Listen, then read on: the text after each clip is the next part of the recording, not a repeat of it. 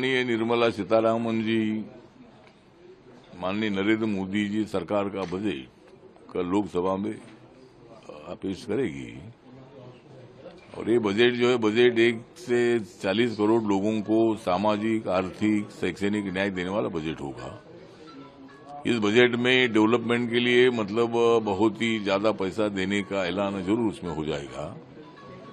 और माननीय नरेंद्र मोदी जी का सोच है कि हर वर्ग को न्याय मिलना चाहिए। हिंदू हो, मुसलमान हो, सिख हो, ईसाई हो, बुद्धिस्ट हो, जैन हो, पारसी हो, लिंगायत हो, जो भी जाति धर्म के लोग हैं, वो सभी लोगों को न्याय देने की भूमिका उस बजट में होगी। उसमें के किसान है, गरीब है, युवा है, महिला है, ऐसे तमाम लोगों को मतलब न्याय देने की भूमिका तो सरकार की रहेगी।